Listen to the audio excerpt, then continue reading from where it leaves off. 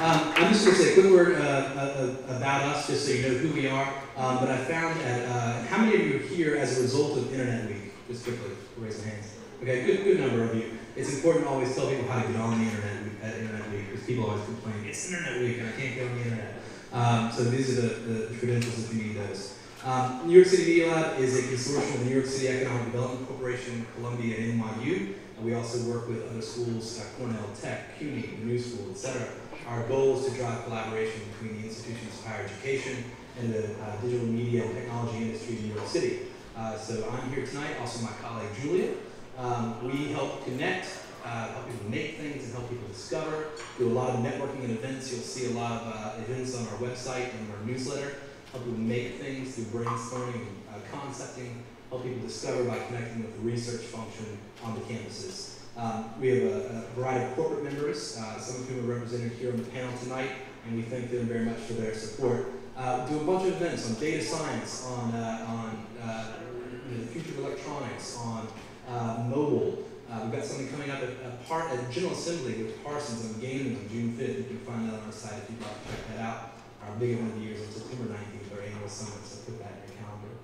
Uh, the big thing we do is we connect uh, PhD and master's students with, uh, with executives, technologists, and companies to do projects. Good example of that project we did with Hearst, uh, which built a new uh, visual interface on top of all of their magazine content and, and, API, which resulted in a little company called Velocity.io, which is launching now. Um, you can check out more about that on our website.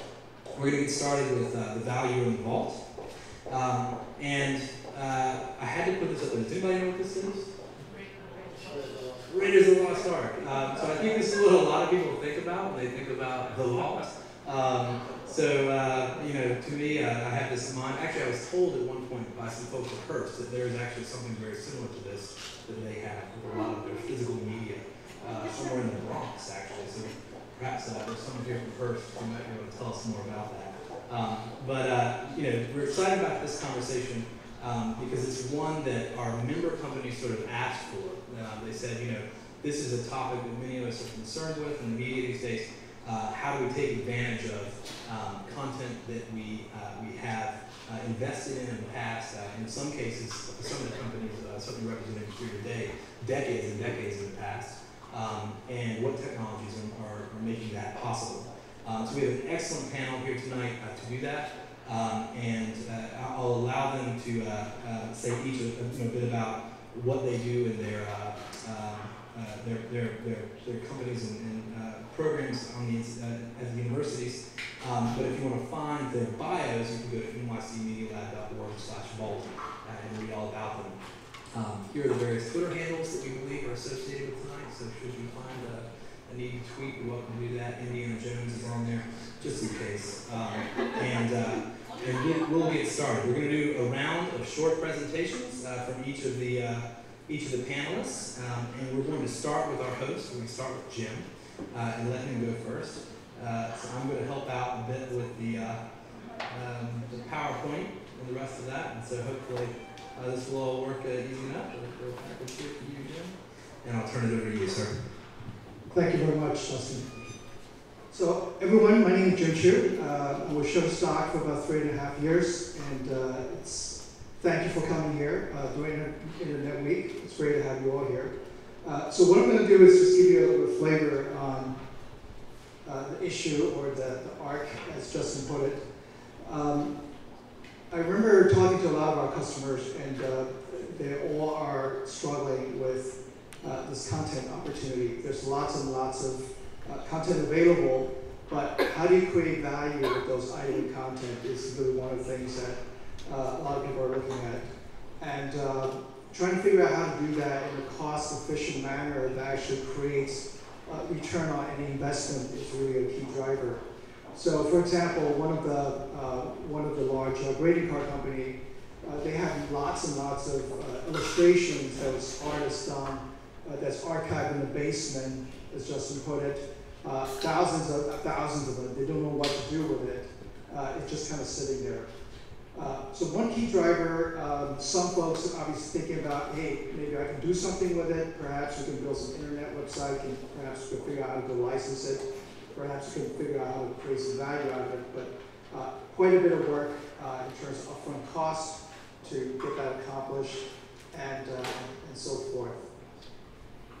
So in light of that, uh, also just to talk about Shutterstock, you know, one of the things that Jon Oringer, who's the founder of the company, built this sort of an ecosystem about uh, 11 years ago, uh, which is creating a way for uh, our customers to find great creative images, all 35 million of them, 1.7 million videos, uh, along with contributors, 55,000 of them, that uh, both individual freelancers to um, um, professional photographers all the way up to media agencies as well as uh, larger, larger organizations are looking to figure out how to uh, exploit those content that they have and so forth.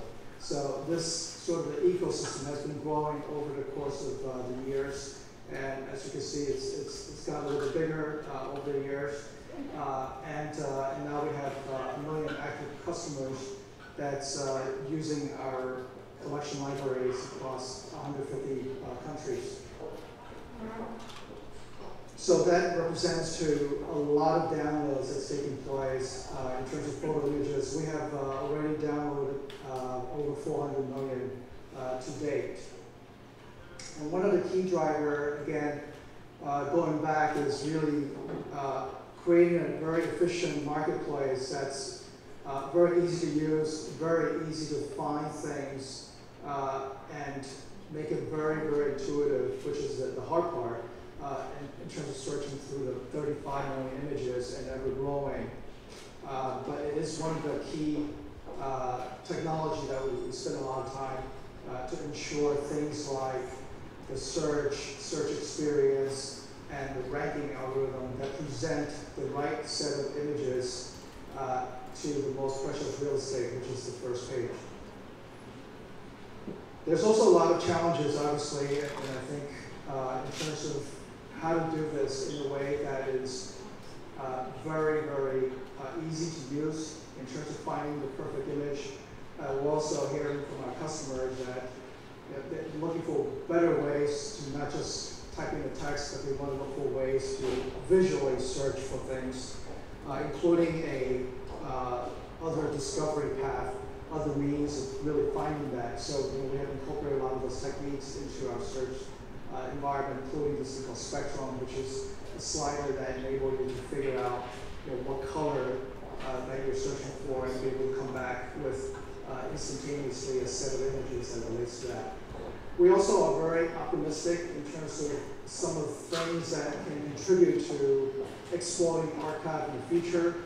Uh, you know, things like um, uh, machine learning, things like uh, automatically generating uh, set of metadata that describes the image uh, all things that's really exciting. I believe that uh, as we continue to evolve down to sort of the, the newer age with lots and lots of cheap uh, CPU cycles and GPUs and so forth, this will enable us to do a lot more creative ways to help people find those images in a much more quicker and seamless manner.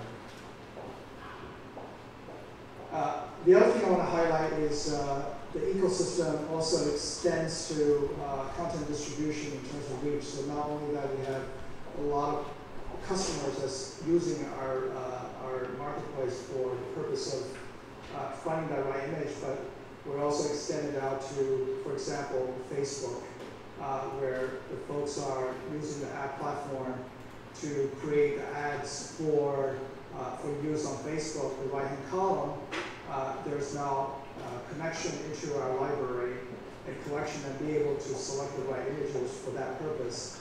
Or on the left-hand side, you have uh, the notion around uh, uh, Salesforce.com, Buddy Media, and the brand manager is able to uh, use that tool to be able to, again, control the brand experience by adding images from the Shutterstock library collection as well. And uh, for the last piece, uh, obviously, you know, the traditional images connecting with something like a Cafe Press out of uh, Bigstock uh, uh, website is enabling uh, folks to be able to merchandise uh, and be able to unleash value. So all these various things we believe contribute to the fact that uh, there is a path to creating uh, value for those uh, arc, uh, in terms of the archives content and be able to uh, uh, leverage that in a very efficient manner. Thank you, Jim. Now, Marc, uh, and I'll, I'll do the.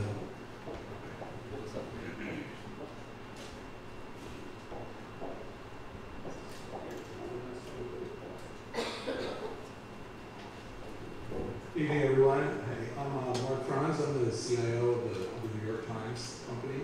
It's a quiet little company. Nothing much ever happens there. anyway, it's not what I'm here to talk about this evening. Uh, so, uh, you've been around in publishing since 1851, you have a lot of archival content. Uh, and it's something we've always paid a lot of attention to, but it's, it's always been kind of an issue for us because we're so focused on the news of the day and, and being real time in this age of the internet that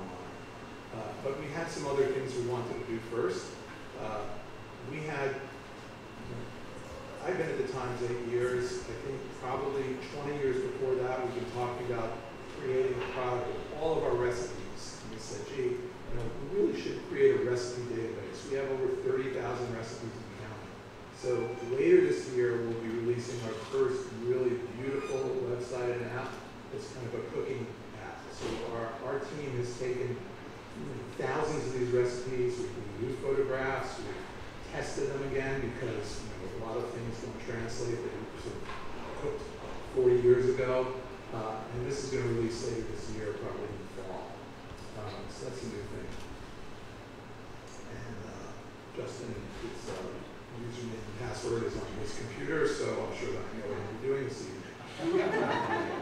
uh, the main thing I wanted to show you tonight is something we call Times Machine, which uh, is our archive browser, but, uh, but a lot more than that. So if you think about the usual, the typical way uh, somebody searches the New York Times, so let's say you want to search for some relatively obscure historical figure.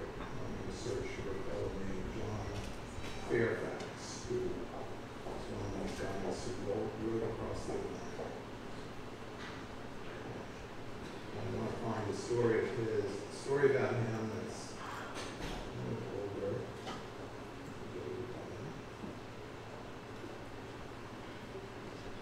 And search. It's not the best way, right? Well, let's just go off one thing. So I click that, and I wait, and I wait. And then I click on a PDF. And finally I get an image, and it's, it's good, you know, it's fine, it's a good way to sort of read the old New York Times. But we thought, well, this doesn't really take the Times in context. So why don't we just view something on Times Machine?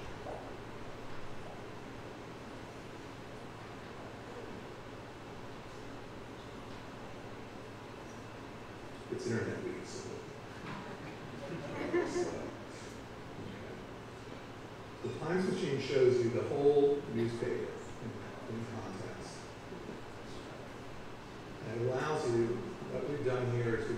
every paper from 1851 to the end of 1980, and we put it online.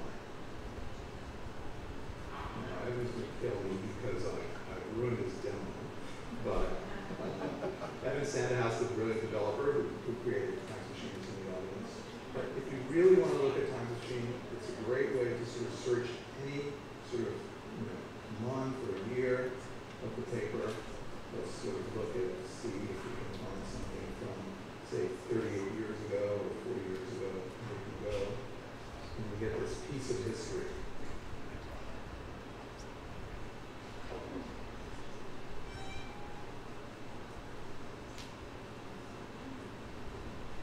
So we have a rich trove of metadata. We have generations of, of taxonomists and library scientists who've been cataloging the New York Times, we can put that in. Um, you can zoom in. You can look at a particular article. You can read the metadata about it, and then you can you can browse. I can spend sort of hours looking at Times Machine. I can also sort of look at the ads, which from previous generations, it's sort of like an old episode of Mad Men. You can read it's amazing. Uh, so uh, that's Times Machine. It is a um, it is it is a subscription product. You have to get it as part of your New York Times subscription. However, tomorrow Times Machine is free for everyone for 24 hours as part of uh, promotion we're doing. So I urge you to look into it, look, look back on it, Um, find yourself. You can Google yourself on Google, of course, but you can also, if you read the New York Times ever, you can look for yourself in Times Machine and find yourself there. So that's Times Machine. And that's what we've got. So thank you.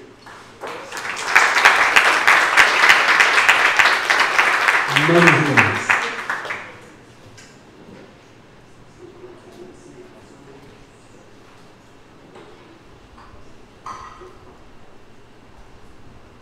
Hi, I'm so glad to be here. Thank you, Justin and and Jim, for having me.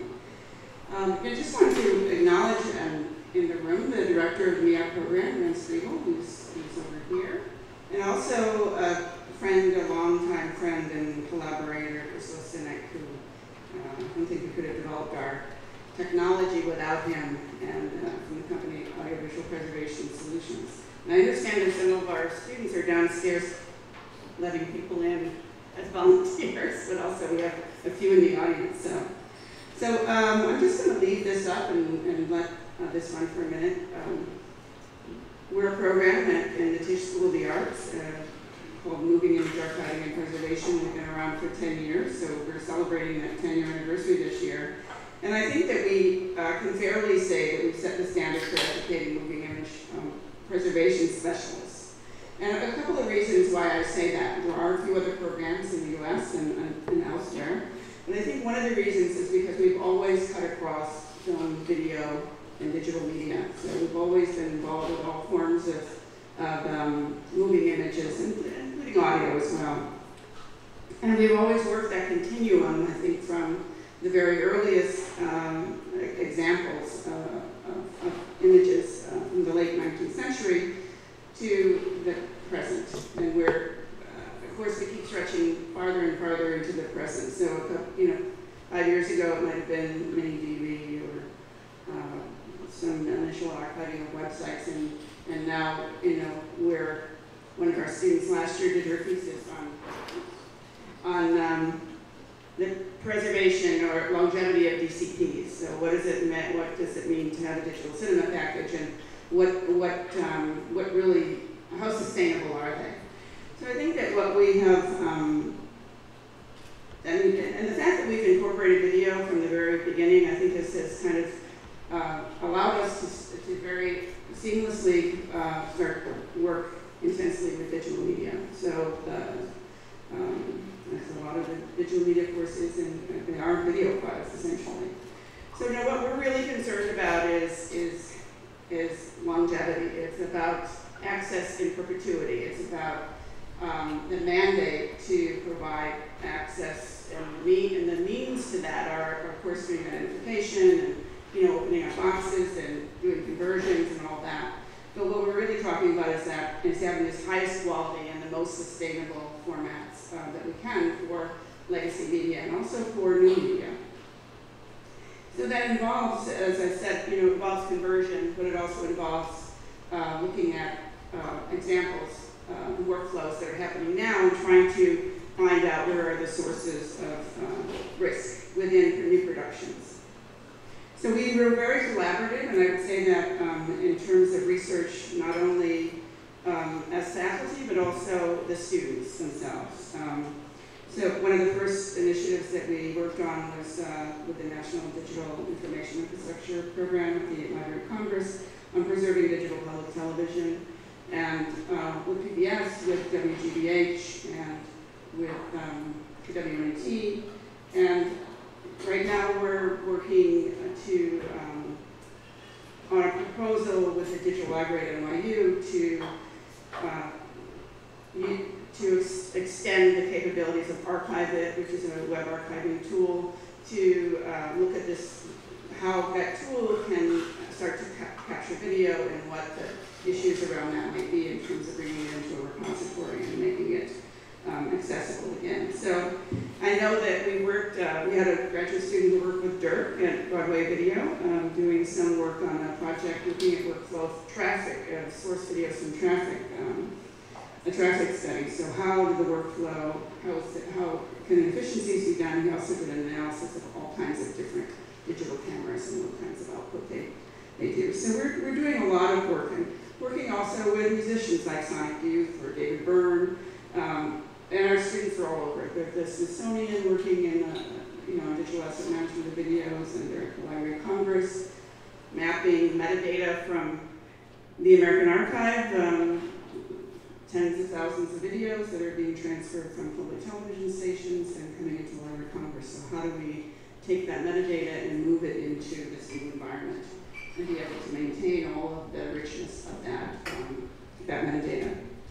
Our students do a lot of internships, um, and in those they're often engaged in um, research as well. They do three internships in the course of the, the, um, the two-year program.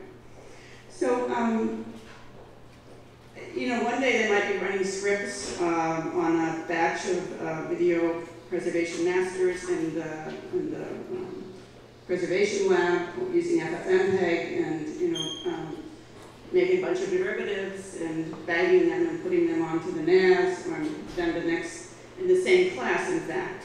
The next minute, they might be trying to get that U-matic to run through the transport, you know, when it's got sticky shed and everything is gumming up, the machine is gumming up and trying to get that to move.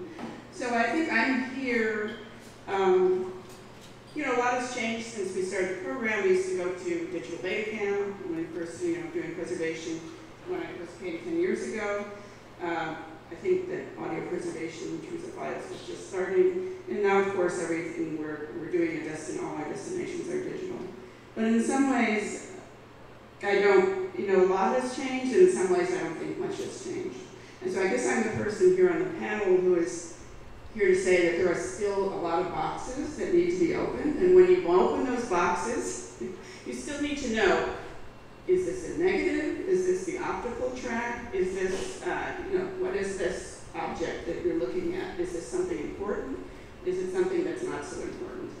Is this a, you know, is it an air copy? Is it a, you know, master, or is it a rough edit, or is it a time-coded work tape, you know, from a, from a television production? So, so really, I think that's a wonderful thing about our program is we're both um, in those boxes every day and pulling that material out and fixing perforations, you know, as I say, getting tapes to run through machines.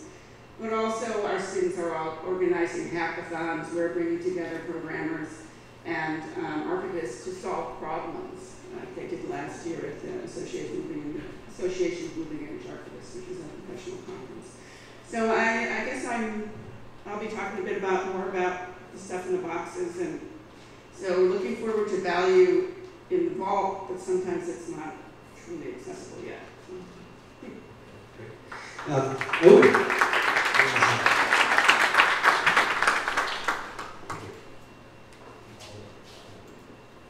I'm uh, Rambow. I'm a researcher at Columbia University with the uh, Institute for Data Science and Engineering there. and I'm co-chair of the New Media uh, Center, it's called. And I do research in natural language processing, so my presentation will concentrate on text as opposed to multimedia. Um, so uh, how can we get at how can we get at information in text? How can we browse and access a large trove of text? Uh, we can use the words, of course, and I call it scratching the surface because we just use the words as they occur in the text, perhaps for some minimal processing. And we all know that works extremely well. That's what Google does. We can then use the words to do something more fancy, such as topic modeling, um, one approach is to use predefined topics. This would, for example, consist in taking a, a, newspaper article and then automatically categorizing it into one of the sections of the New York Times. A different approach to topic modeling is when we don't assume pre-existing topics, but we have a large trove of text and want to figure out what's, what are the topics that are relevant for these texts. Um, this is uh, unsupervised topic modeling uh, pioneered by David Blei, who will join Columbia in the fall.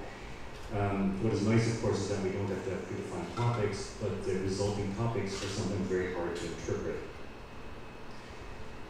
In contrast to the scratching the surface approach, I would like to propose a second approach, which is complementary, diving deep in, which is a meaning-based search and access and browsing.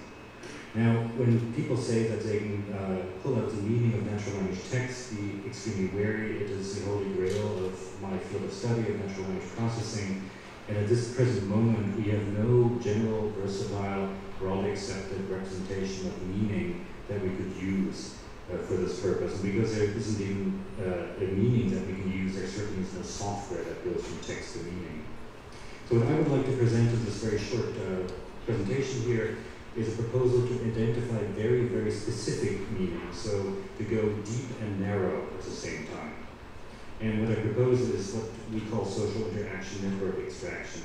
This is work uh, done by my student Apoorv Agarwal, who would normally be here, but he's in India doing his visa right now. Uh, what we're interested in is what we call social events. Um, there are three cases. Either two people are interacting, such as John and Mary have dinner, or we're all attending an event such as this, we're all interacting.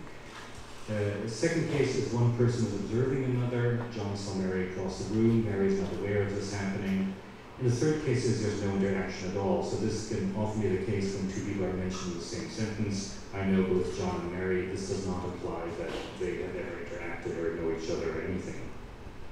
And our claim is that social networks are the results of many, many social events that get added up into social networks.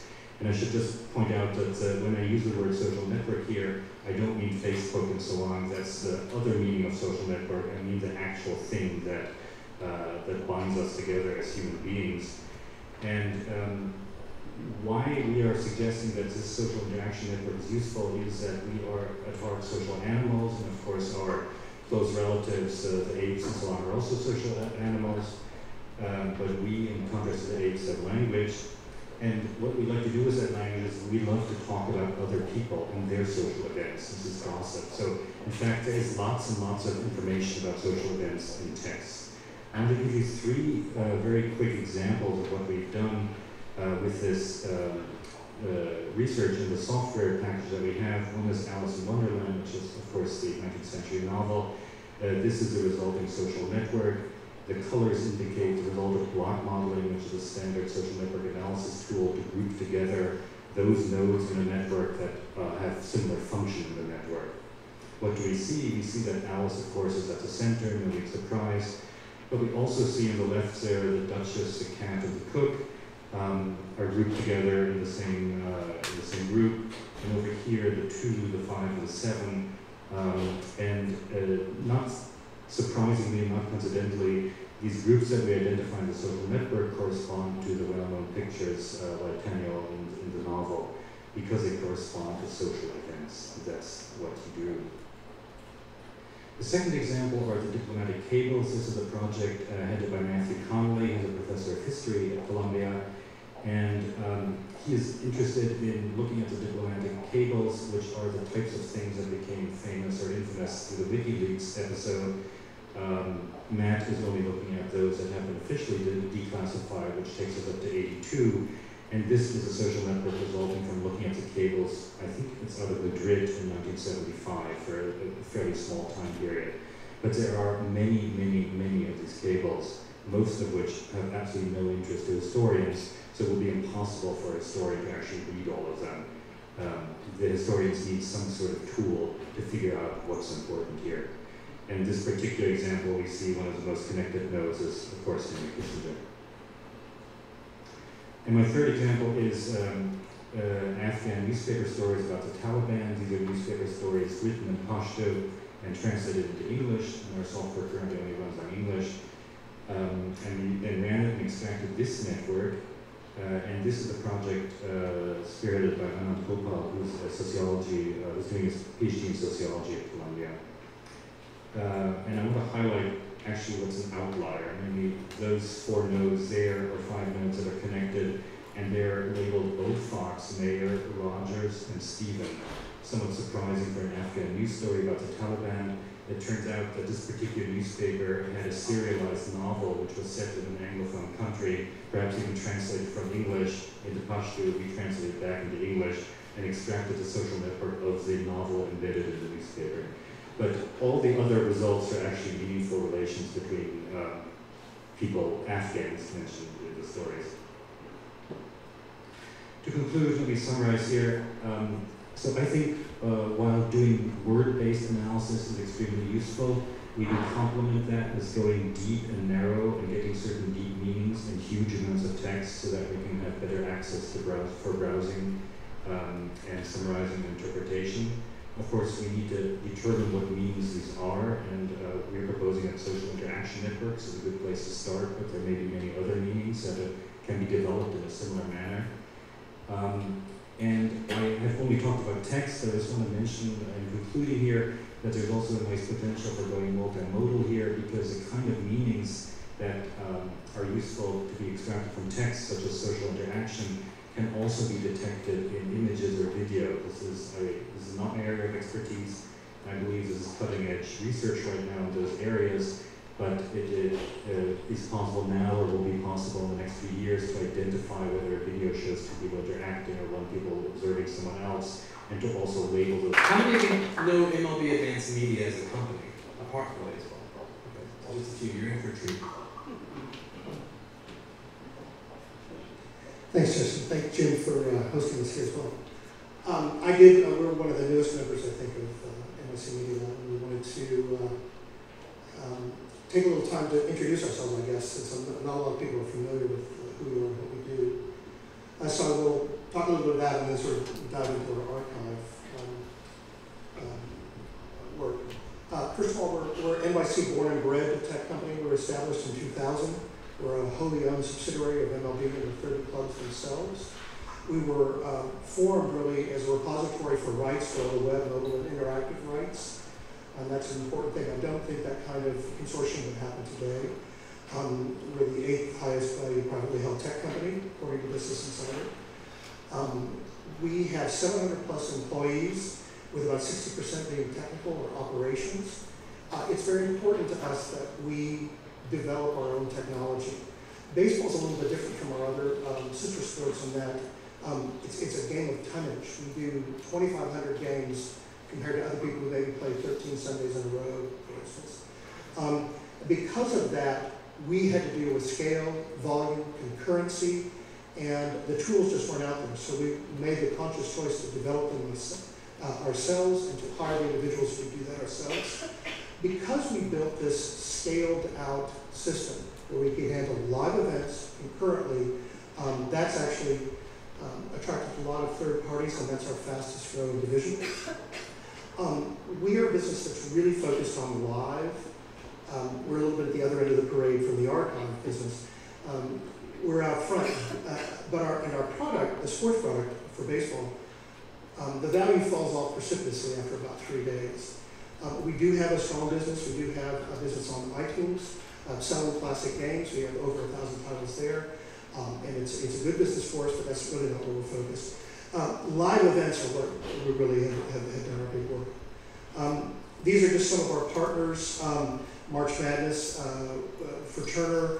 Uh, ESPN is probably our largest uh, uh, partner. We do 25,000 live events, as I mentioned, because of that. Two partners who aren't mentioned here, brand new. One is Worldwide Wrestling. We'll talk a little bit about them later.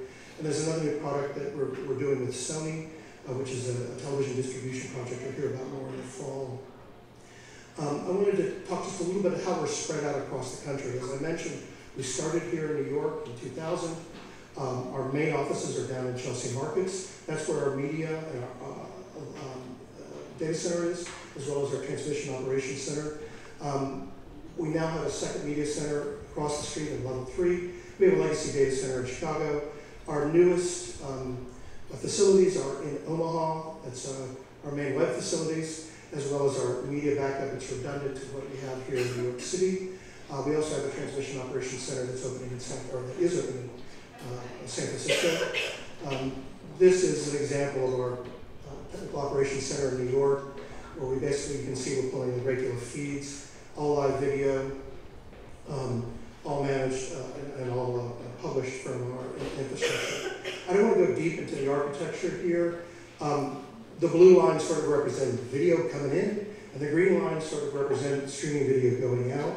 I think the more interesting story for this uh, group of people really is around our uh, digital asset management system, which we built ourselves, provisioning and the types of metadata that we capture and that we surface and the way that we use those to help people discover what they're looking for.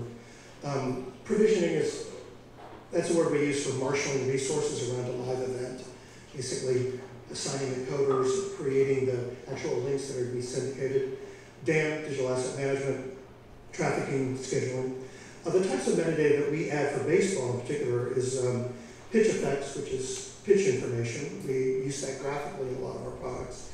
This year we're adding player tracking information. In addition to pitch tracking, we're actually following the nine defenders, four runners, and various uh, coaches, umpires uh, uh, on the field. The stringer is the canonical source of data. As you know, baseball is very stats driven. Um, they're at the ballpark. Their goal is to make things accurate, not fast. But the interesting one I wanted to talk about was the logger. The logger is the person who we have actually watching the entire game, and they are logging in real time. Our asset is logged as we look at it. They're also marking where commercial boundaries are, and they're marking highlights. Those highlights can be cut out of a real game and pushed out to all six major carriers and to the internet in about 30 seconds. So this is a live process. It's very streamlined for us because everything flows out of this live um, console into the archive flow, um, and we're focusing on operational speed and scale. I hope you can see this. This is an example of a logging console for baseball. It's sort of purpose-built. On the left-hand side is, is sort of a button-driven interface that auto-populates for baseball with the rosters that come in.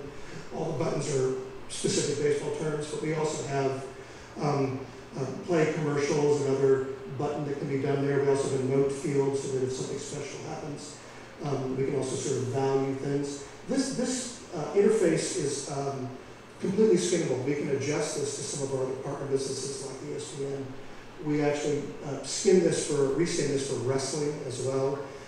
They came in with 30 years, 60,000 hours, 30 years of wrestling, but really had very poor metadata they had an idea of, of what their schema would be in order to surface meaning. They understood that the hierarchy of search would be first around wrestler, whatever, and then venue, and then, oddly enough, weapon, which is like steel chair, and fourth would be move, like pile driver. And so we helped them basically set up a console like this and allow their loggers to look at things even super real time and allow them to key in metadata. Uh, one thing about temporal data that I think is applicable to all archives is that the granularity that they go into the archive is at the granularity of the program. But the way they normally come out is really the granularity of the clip or the segment. One of the things that this uh, workflow provides is what we call milestones, so that we are temporally putting keywords at points in the video. So when you search, we actually present the entire asset back to the viewer, but they're going to the point that they care about based on what the metadata is. We spent a great deal of effort slaving all of our videos, which carry time code, to the data that is also slave to the time code. So that when you, if you watch our product, we have a DVR on, on our baseball games. If you stop it, the data stops. If you scroll back, the data scrolls back. And it's a very valuable tool for us that um, a lot of other folks, uh, our partners are interested in as well. I'm just going to end up with just sort of a big sort of tonnage and scale slide. This is our distributive potty. Uh, this is our distribution package. It's not 4.6 megs, it's 14.6 megs. It's about a 15 meg stack. This is an HLS product. You make about 30 uh, gigs a game. As I mentioned, we have 2,500 games, but there's a home production and an away production. So that makes for 5,000 feeds. It's about 150 terabytes of distribution copy. But then, of course, we make an archive of all of those masters, and those are much higher bit rate. Those are DV100 products, so they're eight times the size. That brings us to about three quarters of a petabyte. You add in highlights, you add 150 terabytes per season, and we have about 100, 1.5 petabytes per season that we generate. So this is why the importance of the live metadata creation at the front is so important. Um, so we can actually find where everything is. Um, we that really ends up with we have 15 petabyte robots, large tape robots, one in Southern Manhattan, one a mirror image in Omaha. These are the big storage tech room size robots. Um, 1,500 servers for delivering things. We have a very large LAN backbone so that we can move video across the country easily. And each of our data, uh, data centers can serve about 12 gigs concurrently, is a lot of video to pushed out. And so I'll leave it on that, just on the big tonnage. Slide. Thank you very much.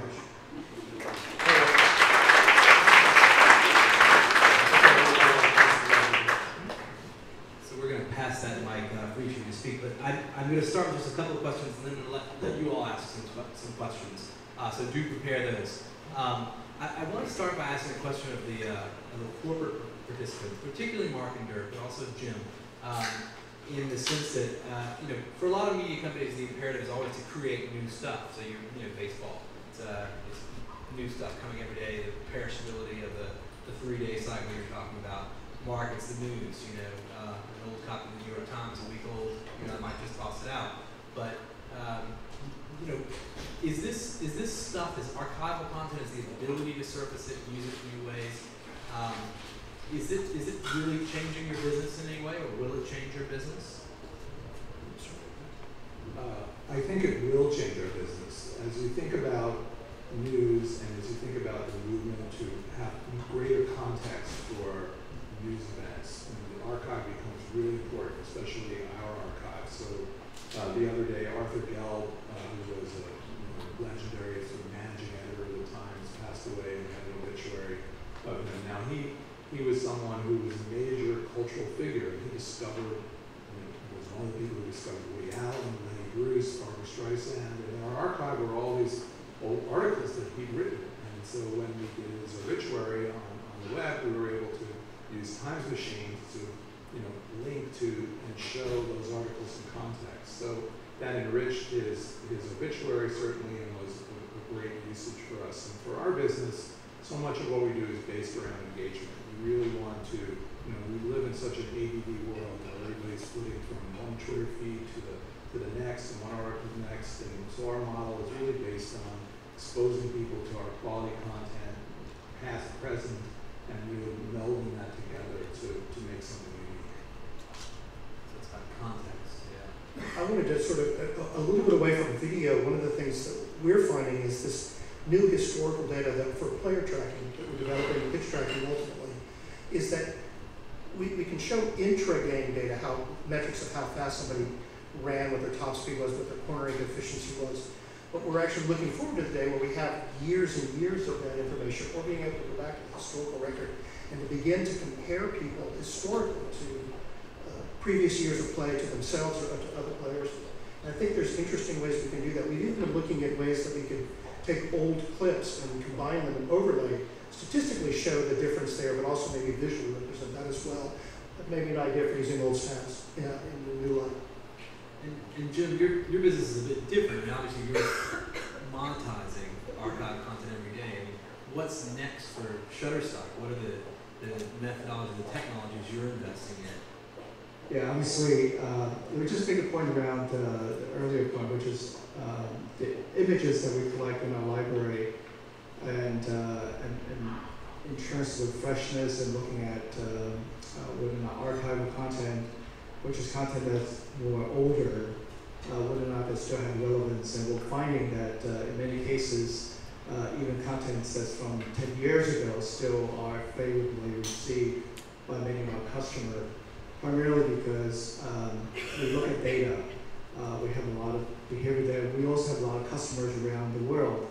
So what we're finding is that the uniqueness of the customer uh, base is able to, uh, to discover the uniqueness of an image or a video, even though it may be many, many years old, which is a fascinating thought for us.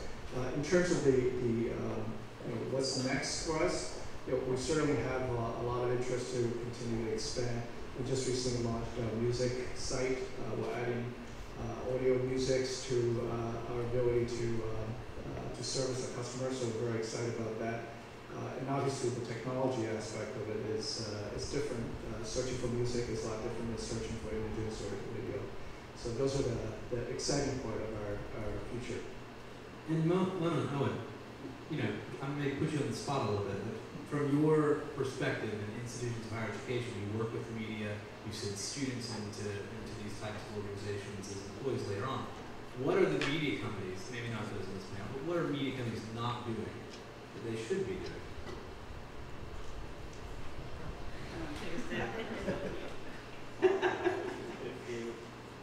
Well, I, I guess I would say that um, I think there are still a lot of collections. Uh, am I wrong? Um, behind doors uh, that have, have not yet been accessed and uh, monetized or you know converted and monetized, and that we're really running running out of time. Um, so I, I think that um, there, what worries me is that digitizers, you know, a couple, two, three years ago were thousands of dollars, now they're hundreds of dollars. So that, that tells me it's soon, soon they will be no more because there will be a perception that it's not, they're not really needed anymore. That you know, sort of. So I, and I, um, I'm not sure, and I would say I would welcome the opportunity to partner with more uh, companies as opposed to a lot of what we, who we've worked with in, uh, to now are um, cultural organizations. So I have a little bit of a skewed, skewed picture there. But I, I um, so I'm not sure how much the, the assets are being converted in a way, in a way that is sustainable and how much um, uh, they, and what kind of transcoding is happening, what kinds of things might be happening that might be not, not so good for the for media. So I'm not, not accusing anything of anybody of anything, but I'm just curious uh, because I do see a lot of digitization happen that's sort of quick and dirty, and I wonder if um, there's going to be a bit flip soon, and that's going to be of that file. So.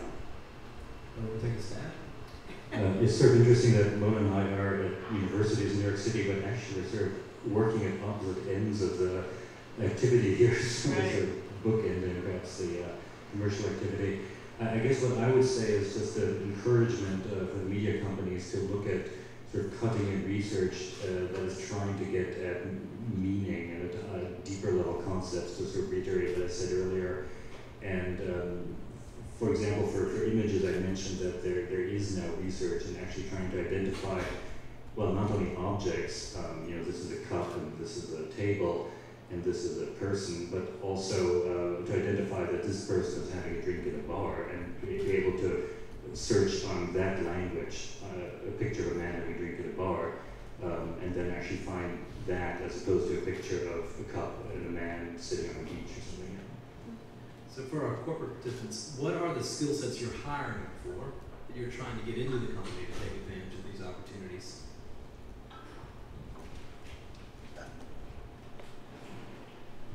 Uh, Well, that type, that, that very much uh, federated analysis of different types of, of um, uh, features of videos is, is something that we're very interested in, how you can use optical character recognition, closed captioning, object recognition, and then of course laying some sort of meaning on top of that would be the holy grail for us. Very interested in these types of, of um, search techniques. We also, uh, we also find that the last mile sometimes has to be the person to do that. If you could help us with that, that would be great. Um, clearly, we're looking for engineers and computer science people can look at this. I mean, it's, it's pretty straightforward. We're, we're a big data business company and those are the skills that we're looking for. Uh, Like you're, we're hiring, um, anyone wants to come see me afterward, but, yeah. Uh, we're hiring a full range of skills. So, uh, data science is, is certainly a big one for us. We're expanding our data science and machine learning team. Uh, we're really looking for, for great iOS and Android developers, great JavaScript developers, but with respect to the archive and archival material itself, it really pays to have a passion for, for the subject. I mean, Times Machine, there was a first version of Times Machine which predates this one, which was a labor of love of, of a single developer. In the early days of cloud computing, we used the cloud. This version of Times Machine, I would, I would say this was a, a labor of love for Evan Sandhaus and his team. Really brought that thing to life. It was not something that was, believe it or not, a, a core kind of priority for the organization. It was just sort of one of many, but it was something that, that we did is, is extremely successful. So, so developers who really want to be creative and, and take some chances and new ways of combining content, those, those are always people we're looking for. So, Uh, I would just echo the same. Um, the, the only ad I would uh, include is uh, we're looking for technologists that has a sense of disruption. So in a way, not to think about what's in the past, but what could be in the future, and uh, and, and not be afraid to fail and uh, and bring forth the technology that we're, we're interested in. So that's the only angle I think we're, we're uh, more focused there. So I'm going to take some questions from the audience. We got a question? And uh, if I'll just as, as, you, as you reply, uh, maybe put your question to an individual if you don't mind uh, to start. And the panel is welcome to take the question. But if the individual would just repeat because we don't have a mic in the audience.